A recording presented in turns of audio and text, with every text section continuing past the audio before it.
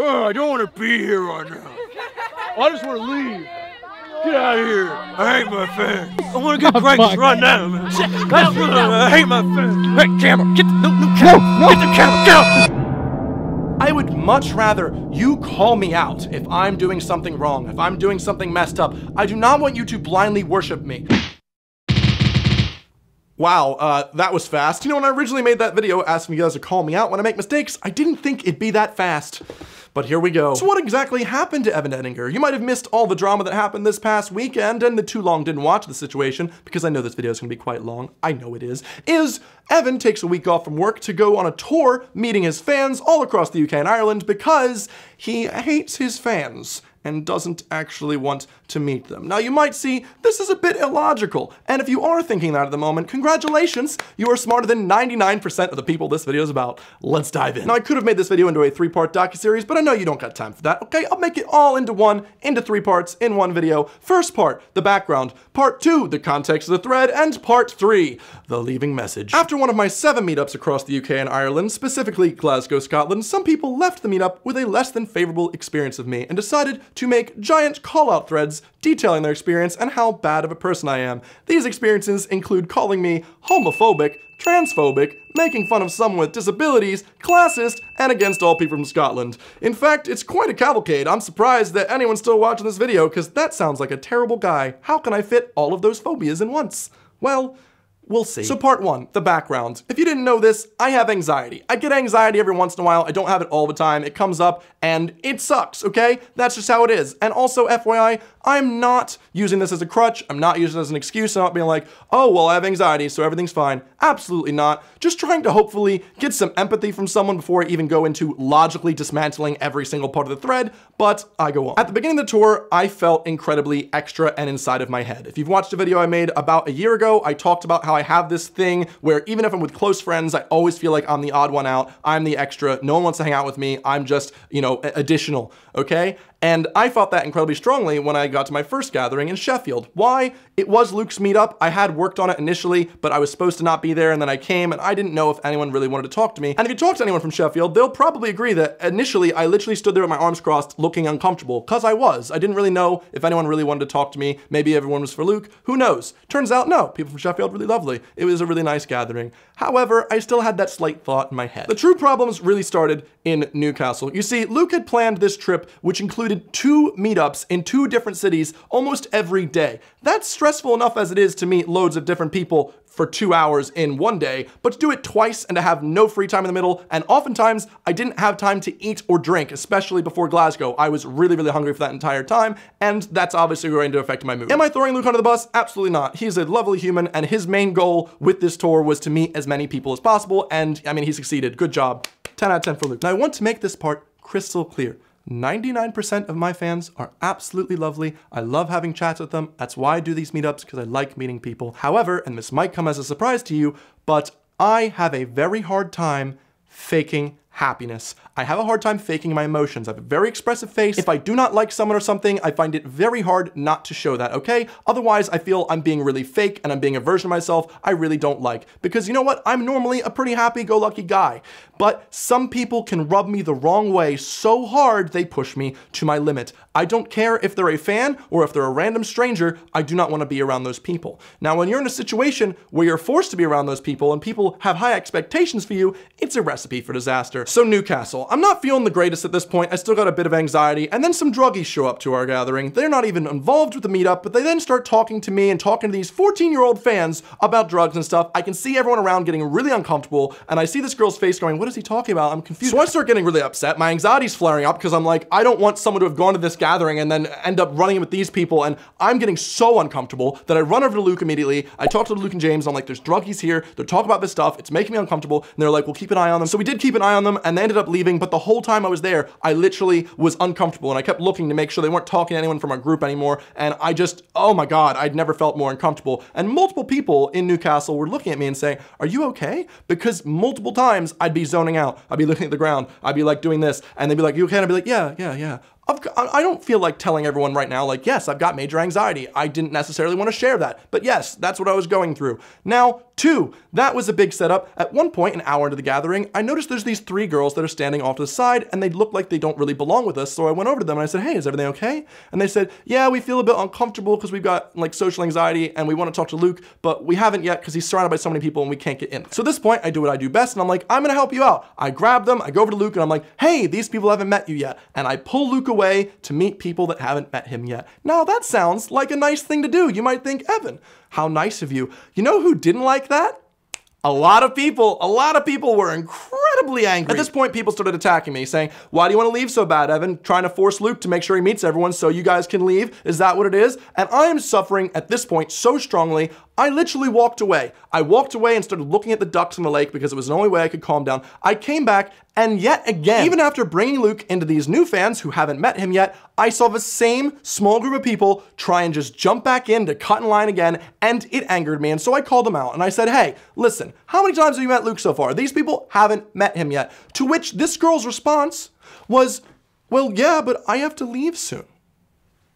Oh, I'm so sorry. This is the point where I lost it because this person was so incredibly selfish, had such a lack of self-awareness. I just I, I couldn't I couldn't understand. Now at this point I tried to get through to her in a different way. I said, "Well, these girls have social anxiety and haven't been able to talk to Luke yet because they can't seem to get through the group of people that are constantly asking him for more and more things." To which her response was, I have anxiety too. Yep, that's right. Oh my god, I can't believe it. You, you beat every single argument I had. I know that you've already met Luke seven times and asked for a Snapchat, a Polaroid, a FaceTime with your girlfriend, and also a photo, a group photo, everything you could ever ask for. But, you know, these girls haven't met yet.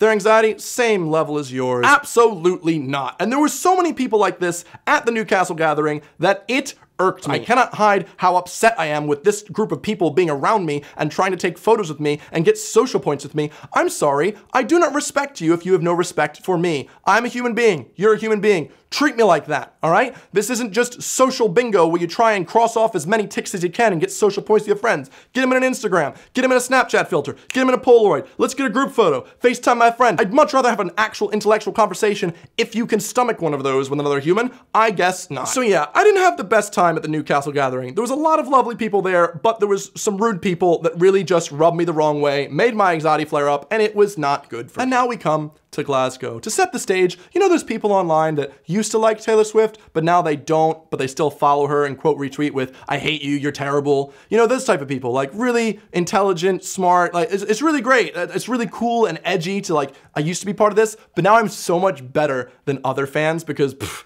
I grew up. Well, guess who came to Glasgow? A nice group of people that literally, and I saw the tweets, the person is private their Twitter at this point, but I saw the tweets of people saying, haha, showed up to the Luke and Evan meetup, look at all these lame fans. They're literally there as a joke to be like, huh, we used to like this, isn't that funny? Look at all these people. I mean, grow up, I guess. I, uh, what what the? It's also worthy to note that there was multiple people in this group I had already had muted on Twitter. What does that mean? I do not mute people willy-nilly. I mute people that I find incredibly offensive or rude for no reason. And so it leads me to believe there were definitely people at this meetup specifically because they did not like me. It sounds like a conspiracy theory, but once I go through the actual thread, I think you'll understand. Especially because they did and also tweeted about the fact that while I was meeting fans, they were shouting the word pedo at me, which if that doesn't make you look comfortable meeting fans, I don't know what will. And now it's time to get to the Twitter thread. It's time to provide some context. One of the Twitter threads has since been deleted and the person emailed me to apologize and say she got caught up in the drama, and that's okay. I have no ill feelings towards this person, but one of the things they had said, which a lot of people seem to latch onto, was that I was making fun of a young girl's shoes. Whenever I'm feeling awkward, I always end up looking at the ground and I comment on shoes. Why? I've got white Adidas Superstars with black stripes. It was literally the basic white girl shoe of last year. Everybody had them, and for me, it was a good way to relate to people and be like, hey, I've got those shoes, hey, got the memo, like them. And then this year, it turns out to be the black van shoes. Everyone's got them this year. And so at one point, I looked down and went, oh, you two got the black vans? Texting each other in the group chat. I see, oh, you. You've got the Primark ones. Now this person then replied with, oh, what's wrong with Primark? And I was like, nothing. I mean, I literally bought my entire, like, first outfits from Primark when I moved to the UK. But if you leave that part out, right, leave, leave out the context, it makes it seem like I'm like, oh, you've got Primark shoes. Why is Evan judging this girl's shoes? Also, this is incredibly crucial. The person whose shoes I talked about was not actually the one offended. If you look at the original tweet, which has been deleted at this point, sadly didn't get the receipts, the person offended was just nearby and was their friend and said, when he made fun of my friend's shoes, I cried. Okay, um, what? Most of this thread, by the way, is people getting offended for other people. It's Eh, here we go. Let's just dive into the big one. One, Evan kept acting like he didn't want to be there. Like I said, I think I've explained myself pretty well. I had a lot of anxiety. I felt like people were trying to take photos with me to secretly tweet them and go like, oh, I'm with this guy. I hate this guy. So there was a lot of anxiety going on at that meetup. Also saying who hasn't met me at a gathering is incredibly commonplace, not rude at all, and is a way to meet the people that have been waiting that are too shy to talk to you because there's other people that are constantly talking the whole time. Once I meet everyone, I'm okay to have a chat. I'll chat for ages with you. We've not met anyone yet. Luke Cutforth, evil jerk, confirmed. Next point was that someone asked me to sign their rainbow flag, to which I replied, whoa, it sounds like you said something else. I mean, Pride was just today. You probably shouldn't say that. Now, anyone with at least two and a half brain cells might be able to realize that I was saying, yeah, you know, your fun, your accent's pretty funny. It sounded like you said something inappropriate. You shouldn't say that. But if you're, hold on, grasping at straws, you might think, oh, it's because he thinks that you shouldn't say that in case you get in trouble for saying it, but you're still homophobic and SJWs and wow. Uh, seems a lot of conjecture in there, but I'm sure if you're trying to maliciously pick someone in a certain way, then good, you're doing a good job. The next part of the thread is one of the funny ones because most of my friends that read this thread laughed out loud when they got to this part because it sounds so much like me, which is someone said, can I get a hug? And I replied, no. And then they said, oh well, you're lost. And I replied, it really isn't. I can't believe Evan Edinger was sarcastic. He doesn't come off that way in videos at all. When someone asks you a basic question like, can I ask you a question or can I get a hug? There is never going to be a possibility of a no. It's always going to be a yes. But what throws people off with a quick bit of humor? No. The opposite of what you expect. Oh, whoa. Obviously, it's how deadpan I do it that makes it funny. Obviously, I continue and I hug people. That's how it is. It's not like I went, no. Nope. Really isn't. Goodbye that would be a lot. What? But yet again, this person has left out context because otherwise it wouldn't really fit their narrative. The next part of the thread details on how I basically tried to talk down to someone in a wheelchair, which let's not just refer to them by someone in a wheelchair. Hi, Paige, if you're watching, you're a lovely human. Right after the meetup, I literally was talking about Itakani and how nice you are. Guess what? This person, Paige, didn't have any problem with anything I did, but here we go again someone nearby was listening and went, Oh, I just hate that Evan Edinger. I'm just so, I mean, Paige had told me something about her leg. I had tried to relate to her in a way by saying, I actually have an incredibly bad right knee. The doctor said I had a 65 year old knee like 10 years ago, and I might end up in a wheelchair. This is me trying to relate to this person, trying to talk to them like a normal human, which I'm sure Paige appreciated considering she said she wasn't offended by anything I said. And then at one point, Paige had said, Well, she's got issues with her spine. And I went, Oh, yeah, I'm really sorry about that. Your spine is most definitely worse than mine. Uh, this was yet again just another attempt to talk to them like a normal human being, uh, which is instead me talking down to them and trying to act like I am having a worse off time. I, I, really don't get the point they're trying to make. Like I said, we we just gotta grab these straws. We, got, we, we gotta grab as many as we can. The next part of the thread said I looked really uncomfortable in photos. Yes, it's because I was really uncomfortable. Duh. Next up in the thread, I was making fun of people's Glaswegian accents, which is it's it's hard for me to say it without laughing because at this point it's like just stating things like, and then he went to the store and trying to make it seem negative. Who would have thought Evan Edinger, an American that lives in England, tries to, you know, talk about differences between cultures and does different accents, would ever laugh at an accent? At this point, people are talking to me, we're having fun with our accents, we're laughing with each other. I'm trying to do my best Scottish accent, obviously, it's terrible. We're all laughing together, unless you're on the side going, I hate Evan Edinger and I will use this. it's just some of these are so ridiculous. I just can't imagine someone like reading this thread and going, I can't believe he was making fun of accents. Come on. Next part of the thread details on how I wouldn't talk to someone who'd been on FaceTime for ages. Why does Evan Edinger think he's so much better than everyone else? I just don't get it. Maybe because the context, okay? Let's just say this, okay? I'm having a conversation with someone, we're having a nice chat, and then someone comes out and just shoves a phone in my face. Evan, hey Evan, um, I'm talking to my friend, they've been waiting on FaceTime for ages. You know what? You know what? I do not have any respect for someone that has no respect for me. I do not give a crap if your friend's been on FaceTime for two days. You do not just shove your phone in someone's face and expect them to just talk to someone. That's not how human interaction works, okay, friends? We have conversations, we wait our turn, we talk, we ask, hey, would you mind talking to my friends on FaceTime? Not, hey, would you mind talking to my friend?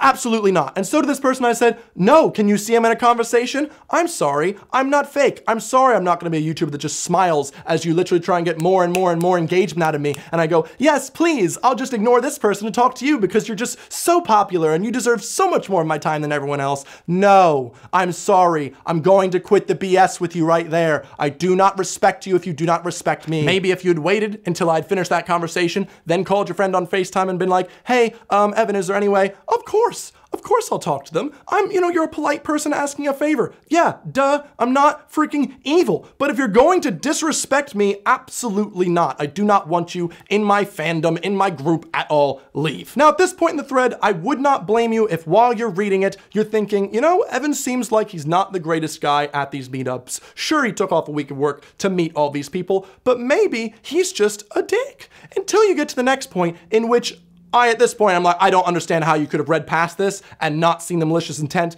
of the OP at all, because this is where the true colors come out. At one point during the Glasgow meetup, I was asked to sign a condom. Now, you don't have to be a longtime fan of mine to know what sexuality I am. I've made videos about it three years ago, two years ago. Actually, this month, a couple weeks ago, made a video about, you know, I'm on the asexual scale. So that's some context there, just so you know. So when someone gives me a condom, I literally say, oh, uh, I feel uncomfortable actually doing that. And I tried to use humor to, you know, as a coping mechanism. I said, oh, you know, my manager won't let me do that. Goes against my contract. No signing condoms, you know, bad for brand. And they then insisted, no, sign the condom. To which I then reiterated my discomfort, saying, uh, I really don't want to do that. I'm, I'm really uncomfortable with that. This makes me uncomfortable.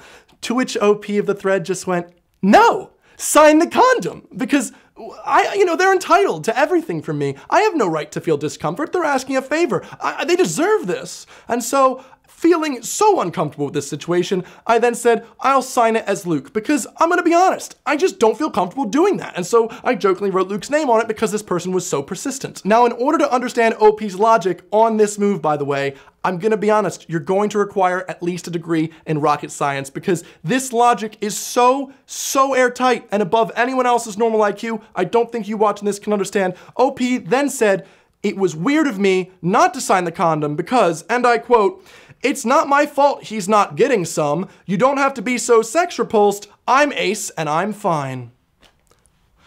Whew! Oh my god, I hope I've just blown all of your minds in, in the audience because, geez, this person, J Albert Einstein, can't believe it. Did you know every asexual is the same person? Did you know every human is the same? Did you know that no one, regardless of their background, is, is sex repulsed and you have no right to be? Fuck yourself. Absolutely fuck yourself if you thought that was okay and for some reason you thought I had no right to do that. You do not know me and you do not know my background. You do not know why that made me uncomfortable and you had no right to insist it and then make a joke and then make a thread about it. Absolutely go fuck yourself. Now, uh, that aside, most of the rest of the thread was just genuinely little small things that they were trying really hard. Like I said, how many how many straws can we grasp at this point? So the next part of the thread, they said Luke's circle was bigger. Evan was super jealous.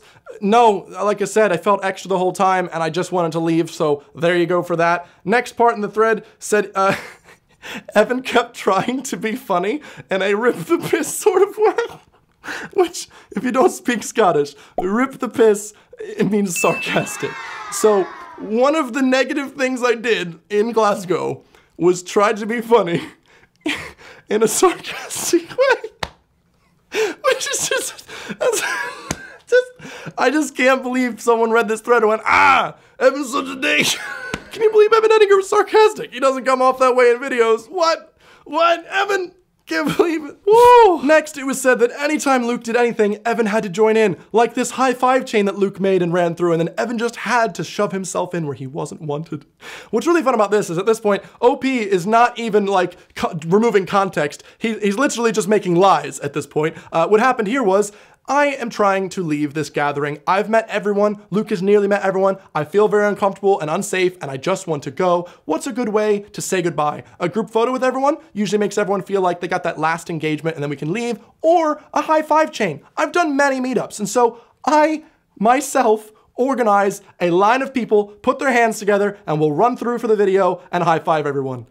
I literally made that up. Explain what's we've, happening. We've made a fun little chain here where as we come towards the group, everyone lifts their arms. I, I mean, I, I, was literally the one saying, everyone line up. But you know, uh, as OP, lie your ass off so it seems like I'm a bad guy. Oh, yeah, you totally had good intent. You were just really disappointed. You, d- uh, yeah, sure. And the last thing in the thread, like I said, we got straws jumping all over the place. You gotta grasp some of them. Someone asked me to sign their flag, and dare I say, I signed it using their head as a flat surface. Everyone cried. It was an injustice. Actually, um, I do that multiple times. Everyone usually laughs. It's kind of making fun of myself as being this monstrously tall person. And the person involved also thought it was funny. There's multiple threads on the internet saying, I don't understand why these are so negative about Evan. I had the, I was at the same meetup. It was fine. He did that. Everyone laughed. Why is OP so negative?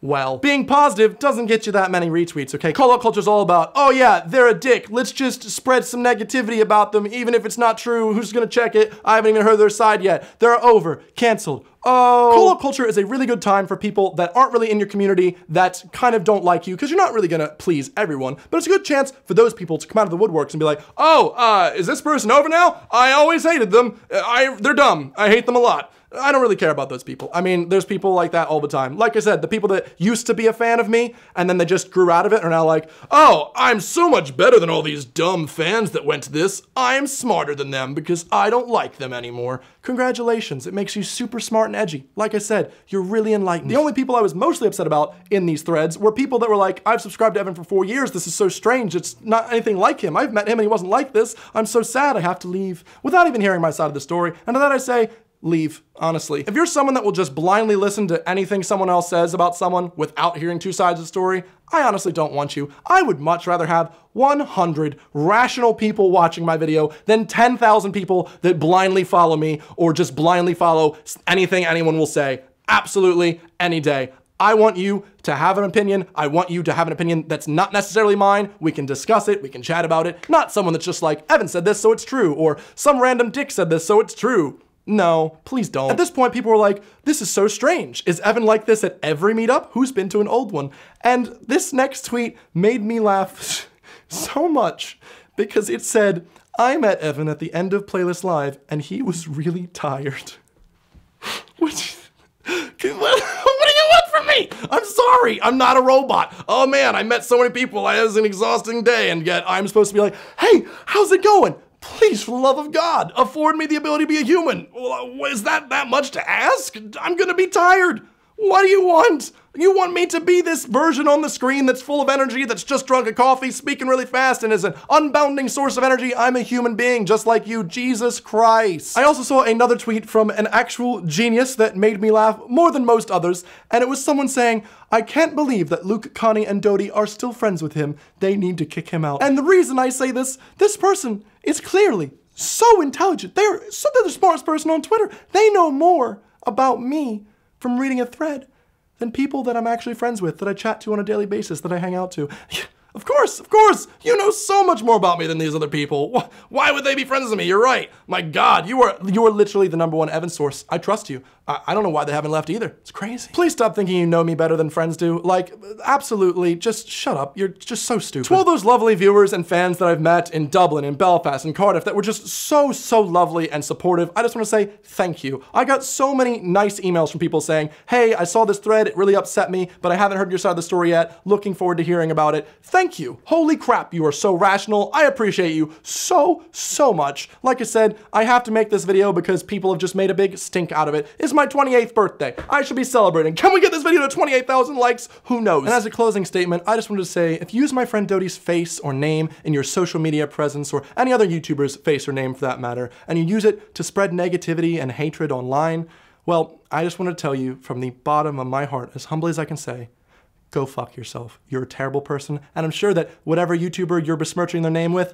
really appreciates you in their fandom. They really do. I'm sure they do. You are the reason why people find certain fandoms toxic, because you are toxic. You bring toxicity to any group you go to. Please just Go on your own way. Be a dick with your own face. Don't besmirch someone else's face, especially someone as lovely and kind as Dodie. Anyway, thanks for watching this video, listening to my story. If you weren't aware of any of this drama, here you go. Wasn't it fun? It was a fun time for me. Like I said, people like jumping on like, can't wait for Evan to be canceled. And I'm just laughing the whole time because it's like, all this is such jokes. And if you're someone that's going to leave for that type of stuff that I didn't do without hearing any context, I literally don't want you back. I'm gonna be honest. Like I said, rather have someone smart, rational, not worshiping, not just gonna like jump out and do call out culture. Blah, blah, blah. get out. Like, I don't want you. I'd rather have smart people following me. Thanks everyone that's sticking by. I'll see you guys next week. Happy birthday. Bye.